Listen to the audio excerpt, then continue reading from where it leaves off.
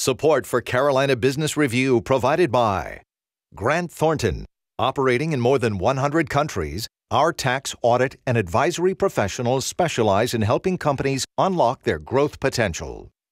Blue Cross and Blue Shield of South Carolina, where healthcare is changing for the better. Find out how at ahealthysc.tv. And by Sonoco a global manufacturer of consumer and industrial packaging products and provider of packaging services, with more than 300 operations in 35 countries. Well, for years it has been a given that our region enjoys an exceptionally deep and broad reputation among all of our higher education institutions. It's also fair to say, and it's easy to say, in fact, that a good part of that comes from legacy sports programs. No brainer. But it's not just sports that drive competition. Academically and through advancing new policy, our schools have been at the center uh, and driven much of the development of our expanding life sciences industry. Welcome again, and thanks for tuning into the most widely watched source for Carolina business and public policy. On this program, what promise does life science sector have for our region, and where are we in the process? And can it be a core area of growth going forward? And how does it play into our debate around the broader public policy issues of the day? Well, in a moment, we will deliberate the issues with our panel of experts. Stay with us. Major funding also by Novant Health, bringing you world class technology, clinicians, and care when and where you need it. The Duke Endowment a private foundation enriching communities in the Carolinas through higher education, healthcare, rural churches, and children's services. And by Blue Cross and Blue Shield of North Carolina. Who's responsible for rising healthcare costs? Join us and many others in a candid discussion at letstalkcost.com. This edition of Carolina Business Review was recorded June 7th, 2013. On this week's program, Corie Curtis of the North Carolina Biotechnology Center, Bill Mahoney of SCRA, and Wayne Roper of SC Bio.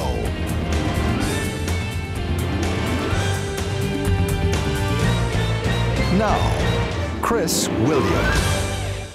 Wow. Uh, welcome to our program. You know, we always start with the good dialogues right before the cameras come on, don't we? And we, I, I, know I say that all the time. Welcome to the program. Good to have you all here. Corie, welcome for the first time. Thank you for having it me. It might be very uncomfortable, so we co- hope you come back. Uh, I'm delighted to, to have this expert next to me. So.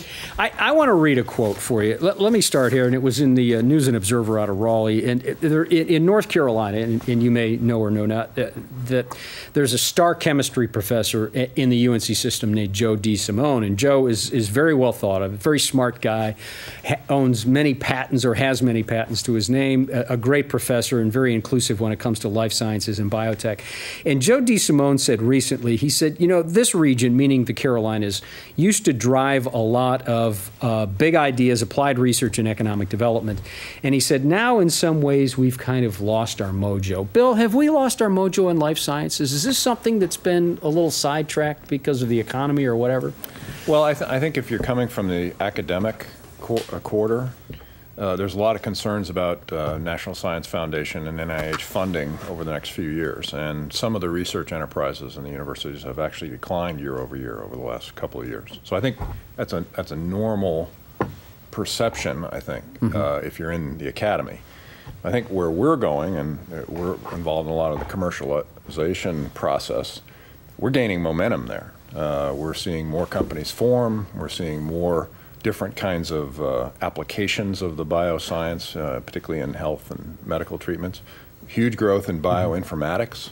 So all you computer f- folks out there, there's plenty of work to do in the, in the life sciences industry uh, coming from the computer side. So I think as you bridge from the laboratory and the bench into the marketplace, there's a lot more going on both in North Carolina and South Carolina. But Wayne, before you jump in, doesn't doesn't the DNA of of a lot of the work that comes out of life sciences doesn't it start in the classroom or or, or class lab?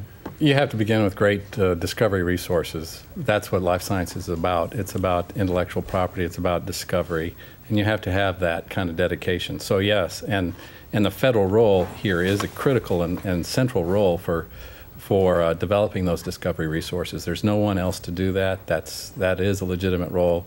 And uh, just under sequester to, to Mm-hmm. take uh, $1.6 billion out of the NIH budget means 700 less research grants. So the, the concern is serious.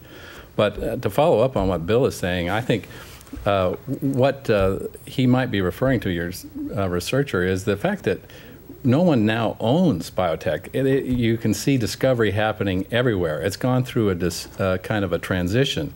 The major big pharma companies are downsized. Their research and development is now being sought out in uh, outsourced kind of areas in, in small discovery spots and, and labs. And, and they are exploring um, uh, new horizons of discovery in uh, personalized medicine, in nutraceuticals, in some of the things, uh, genetics and genomics, uh, big data.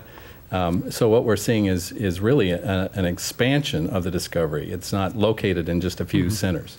Does, uh, does Professor DeSimone, does he hit on something here, though, with this losing the mojo idea? I don't think so. In terms of economic development, in the state of North Carolina, we've had three and a half times the national growth rate in, in the biotech sector from 2001 to 2010. So while the private sector is experiencing a decline at 2.8% of jobs, that's growing. So perhaps to, to what my colleagues are speaking of, it may seem that way.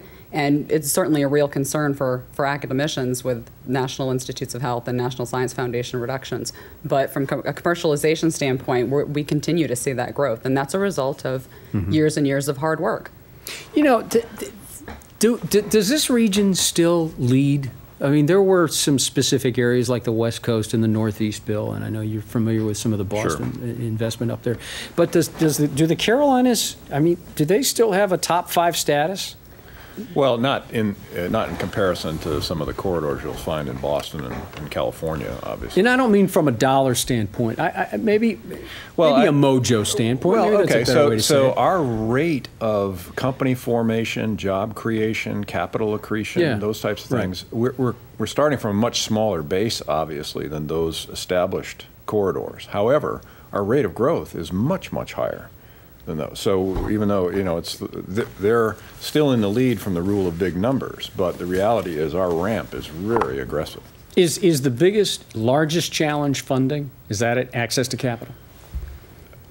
That's part of it. The, the other part is uh, forming the daisy chain of partnerships that, ha- that you have to create around any one particular company, company or discovery in order to get it from the lab uh, or the bench into, you know, uh, clinical trials, then FDA approvals, then into, you know, uh, usually with a development company, and then ultimately there to a, a distribution deal with a larger, you know, more established pharma uh, player. Yeah. A couple of comments there. The state of North Carolina is the third largest biotechnology cluster in the country.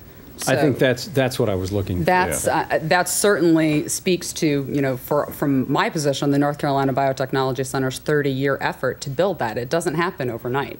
Um, and as far as is funding the major concern, it depends on who you ask, and I think that's that's one of the issues. So I may deal with a company, and I just dealt with one last week that said I don't really need capital, I need connectivity. And that's one of the big things that our organization provides. So we're bridging gaps and communicating between an economic, excuse me, an economic developer, uh, someone from academia, and an industry person to, to foster that growth. So then, what connections are missing? Well, for, for South Carolina, we definitely need to, to have a more commercial or private industry connection because I think we're forming those early chains very well. Is that? Yeah, I'm sorry, Wayne, but let me interrupt you. Is that a Bosch? Is that a 3M? Is that having a major marquee name with an R&D budget? It doesn't have to be a marquee name. It just has to be somebody who's ready to build the jobs off of the discovery that we're doing. Um, for instance, Clemson is joining with Greenville Health System to develop more clinical uh, research and clinical uh, commercializing uh, um, treatments and therapeutics. Uh, they're forming a genetics center with uh, the Greenwood Genetic Campus. Um, and every, every research university is really moving strongly into translational types of research, research that can be easily commercialized. We need to now bring those industries back into uh, South Carolina to look at what we're doing and try to build the jobs off of it. And, you know, from SCRA's point of view, we've been able to invest in, at the very earliest stage, outside, first outside money typically into those companies that Wayne's talking about.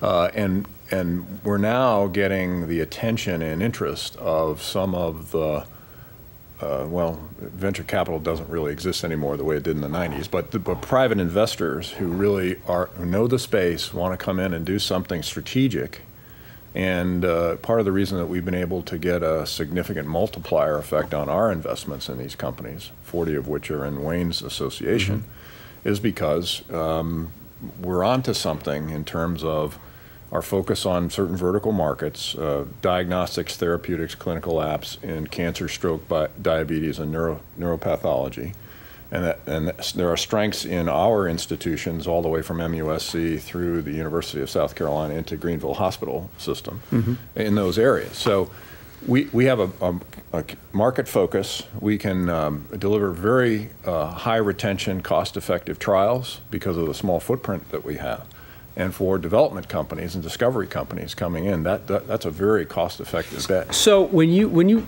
articulate this out, whether you're trying to articulate it out to a to, to a committee in, at the State House in Columbia, I mean, I would I would guess the success can almost sell itself if you get to public those who make policy. Yeah, I think you have to show the result, though. Um, can you show the result? Oh, absolutely. We uh, we we have a. a a company that we helped start called Immunologics, a member of Wayne's Association. They were acquired by a company named Intrexon. Through that exit, we were, not only did we do well and a private investor do extremely well, but we also churn, turned the Foundation for Research and Development at Medical University of South Carolina from a cost center to a profit center. So why wouldn't that, that sell itself? Why couldn't you go to the General Assembly and say, you need to help us? And what would that help look like, Wayne? Well, in fact, we have, and we've been successful. We've uh, just recently passed through the General Assembly a, a, tax credit for angel investors, angels being those early investors in, in these discovery uh, and uh, discovery resources. And angel investors are the first and the most critical chain in moving it to a commercialized uh, application. And so uh, the tax credit puts us at a competitive uh, footing with Georgia and North Carolina, which similarly offer that kind of credit. They are beginning to understand that this is these small business, high impact businesses build two thirds of the uh, jobs in mm-hmm. net jobs in an economy. Yeah, we had uh, statistics from the Moore School uh, about our respective mm-hmm. clients mm-hmm. and professional scientific and technical jobs in South Carolina actually grew by about 4% a year through the Great Depression when the overall state was going to 10% unemployment, mm-hmm.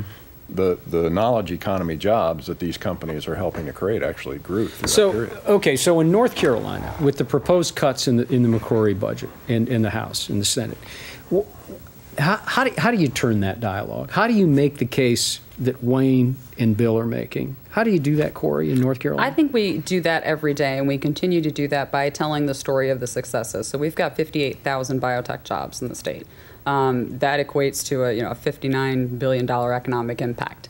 Uh, second only to agriculture in the state of North Carolina. Do you think so, they understand that, or do they think the, that these are few jobs that pay a lot of money, and they're not? It's not a call center that's a thousand jobs or 500 jobs. I think I think they do understand that, and I think we just need to continue to repeat it. So you're talking 58,000 jobs, um, the average salary being $78,000. And then for every one of those biotech jobs created, it creates four additional jobs. So now you compound that, it's 237,000 jobs for the state.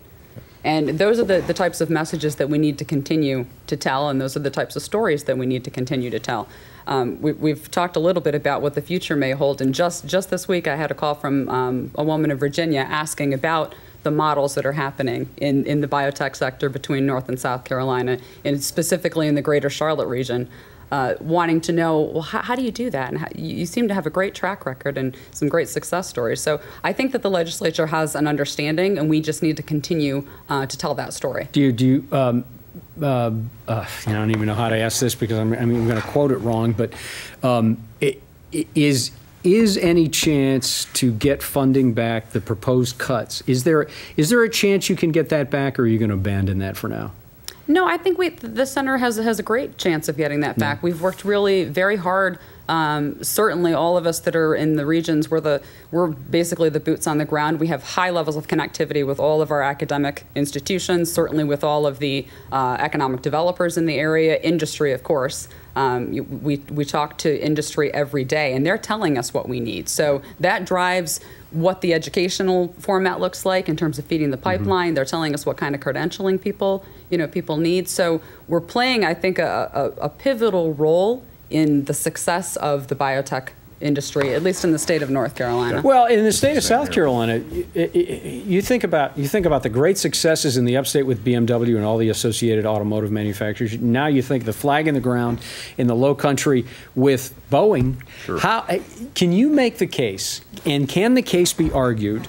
Uh, that biotech, that life sciences will be that industrial cluster that will that will will be one of the core industries of growth for well, South Carolina. I, I, can quote our uh, Secretary of Commerce, who said that South Carolina is building its reputation in the life science club, which is to say we are emerging and we are we are developing a lot of the resources that we have. Does Commerce have your and back? They do. Oh, they they they really understand that, and that's why Business Facilities Magazine said we are one of the sixth uh, leading emerging biotech hubs. It's just an emerging, we are emerging with some of the investment that's been going on in the last 10 years, largely with SCRA and what they've done. And, uh, and what the universities are now doing in their collaborations and in their, in their work. Mm-hmm. So uh, in the last two years, 1,300 jobs, 340 million in capital investment has been announced. Um, Nephron Pharmaceuticals is coming on with 700 jobs, and those will have BA degrees uh, averaging $70,000 uh, a year. So uh, I think there is a drumbeat that's beginning in South Carolina. Is there, and this is a one-off, I just thought, is, is there a, uh, is there kind of a locale? Is it happening in Columbia? Is it happening in Charleston? Where is it going on? All over. Is it? Yeah, there, uh, you know, a, a, lot of what we're doing in the knowledge economy tends to be more connected to the urban centers. Mm-hmm. But what the one of the interesting things about life sciences is that we're starting to discover uh, both uh, in the food, fiber, and uh, forestry segments that are about 30% of South Carolina's economy. Mm-hmm. We're finding new applications. Uh, you know, there are um, uh, microbes that can remediate brownfields, for example. And uh, so then, how do you remediate the microbes? Well, they, they, they tend to take care of themselves, yeah. particularly if you plant the right cover crop on top of them. All right, so so those types of combined technologies for applied projects are starting to make their way into the rural parts of the state. Let me come back to one of the DNAs of this, and that's the educational component. What what happens in states that look so hard, and, and I'm specifically talking about K through 12 education. I mean, this is the DNA of where these guys, the, these boys and girls, are going to be coming from. Uh, when you've got when you're when you're fighting with budgets, when you're fighting with local school systems to try to figure that out. But but more importantly than that, you, you let's follow that through the continuum. All right, the kids come out of school. Um, and, and business after business on this program, at least the last two years, have said, but there is a skills gap. We can't find the workers we need. North Carolina has one of the highest unemployment rates in the nation, but companies are saying that they can't find the workers they need. So, Corie, how do you address that skills gap? I think we address it in a number of ways. The North Carolina uh, Biotechnology Center offers an education division. We have a unit that specializes in that. So, in addition to educational grants that go to help equipment, I'm talking K 12 specifically, uh, help with equipment in classrooms and teacher training programs is a very successful program of ours. So, we run summer um, pro training programs mm-hmm. for, for educators. And one of the projects that we've been involved in, I think that, that, that draws uh, a variety of, of participants and partners for the center is uh, an initiative we worked with, ironically, with motorsports. You wouldn't think life sciences and motorsports go together, but it's a Golden Leaf funded uh, mm-hmm. pre, uh, program, and we've worked very closely in North Carolina Motorsports Association and a number of institutions, the research campus up in Kannapolis, and uh, all of the folks up there to administer a program for eighth graders, which was identified as you know as a target group whereby they need something that entices them into the STEM disciplines. Mm-hmm. So when you're talking about the pipeline and, and creating that all along the way, that's a piece of the puzzle. So making sure that those students have, that we're, we're, we're generating enough students interested in those disciplines to feed that later on. So can you do the, some of the work of the guidance counselors and reach down in that K through 12 and say, listen, uh, consider life sciences because this is what's going on, and not only that, we'll bring you into apprenticeship programs.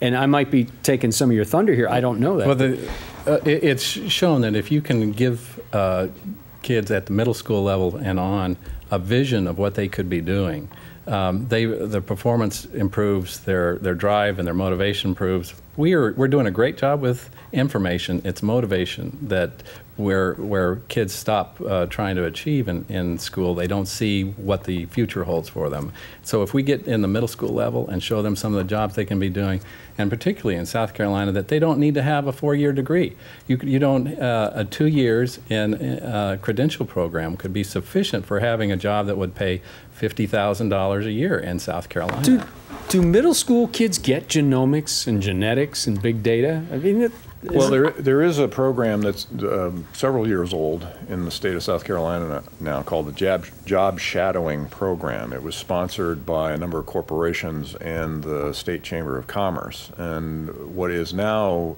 uh, existent uh, for middle school students in the state is um, a, a set of uh, sessions that are operable on a laptop computer where they walk the students through um, they, they have over 2,100 different types of professional and uh, technical jobs that are portrayed. And the, it, that, the feedback from those students and their aptitude tests that they take as part of that job shadowing activity is now fed into a program because all South Carolina high school students need to select an area of concentration by their sophomore year in high school. So that's part of the front end of it. And the other part is, uh, you know, the chair of the technical college system sits on our board, It gets a good view, I think, into, um, you know, what's developing in terms of these uh, vertical markets that we're attacking. And then uh, they're able to take programs like Ready SC and the job, if a nephron comes into the state, uh, somebody like uh, Dr. White at Midlands Technical College is right with that company as they prepare to uh, credential a graduating mm -hmm. set of students from Midlands Technical College coming. The other thing I will say quickly is that you see over 20% of the students now in the South Carolina Technical College system are actually bachelor's graduates who are coming back for two-year certifications in a particular profession. So field. the technical college, you're saying 20% of the technical college in North Carolina would be a community college system. 20% mm-hmm. yeah. of those are, are kids with undergraduate degrees. Yeah, they're coming back to get pro the, the professional training. Retraining. Great example of that is Rowan Cabarrus up in Kannapolis with the uh, North Carolina Research Campus. So they, they run the biotech and feed right into all of those those industry needs. Do, do, do you all find, and this might be a leading question, but do you find that kids, maybe middle school, Wayne, maybe younger, maybe older, do you find they have an appetite for this type of training and this type of career? Corie, do you see this? My nine-year-old does, and then I see it every day with uh, with the eighth graders that are in that program. I think that, and I'm not talking about playing Minecraft. I'm talking no, about something beyond no, that. No, no. Yeah, I think I think it really has it has a profound effect on them when they have exposure exposure to things that they didn't know existed. So just being on the campus, on the research campus, we have students from, from all over, from, excuse me, mm -hmm. from Richmond County, from Cabarrus County, excuse me, um, from Rowan Salisbury. So all of those students are coming to campus and they're being exposed to things that they, they normally wouldn't see in the course of a school day. And we're mm -hmm. talking about those industry connections, yeah. whereby they have the opportunity not only to talk to the industry folks, but the, the students in, at UNC Charlotte and the College of Engineering, they're going to listen to uh, an 18, 19, 20 year old student. Mm -hmm you know far better than they are any of us over over 30. So mm-hmm. that's yeah. uh, it's pretty exciting to see happen. In about 30 seconds. Well, we've also seen in Charleston where we have our innovation center. It's in Upper Meeting Street. There's mm-hmm. a middle school, primarily minority students, diagonally across the street. In our community room there, we host visits from those students who can walk through the wet labs that are in our innovation center. And to have that experience to go in there and see those children light up when they see actually what one of the white robe scientists does, uh, it's it's inspirational, and they carry that away with them. Is there any any kind of uh, anecdotal evidence that you can see that, that, these kids are being drawn into the system, or are they just interested in? they're they're interested. We don't we haven't tracked you know what the the left to right you know migratory studies are, but. Uh, you know, wait with us a while. We, are coming up with a solution for yeah, that. I'm sure you will. Why does that not surprise me? Uh, good to have you all on the program. Thank you very much. Uh, Bill, nice to see you again. Thank you. Good. Wayne, good luck over there. I can tell. I can tell you're excited about it as well. You should. And Corie, you know, you you, have, you might have changed a little bit how I f- have felt about where we were going in North Carolina and South Carolina. But thank you both. Thank you all three. Good to have you on the program. Uh, until next week, I'm Chris and we hope your weekend is good and your summer starts out well as well. Good night. Major funding for Carolina Business Review was provided by the Duke Endowment, a private foundation enriching communities in the Carolinas through higher education, healthcare, rural churches, and children's services. Blue Cross and Blue Shield of North Carolina. Who's responsible for rising healthcare costs? Join us and many others in a candid discussion at letstalkcost.com. Grant Thornton, Operating in more than 100 countries, our tax, audit, and advisory professionals specialize in helping companies unlock their growth potential. Novant Health, bringing you world class technology, clinicians, and care when and where you need it. Sonoco, a global manufacturer of consumer and industrial packaging products and provider of packaging services, with more than 300 operations in 35 countries. Blue Cross and Blue Shield of South Carolina, where healthcare is changing for the better. Find out how at ahealthysc.tv. And by viewers like you. Thank you. Promotional consideration provided by Business North Carolina Magazine. For more information, visit carolinabusinessreview.com.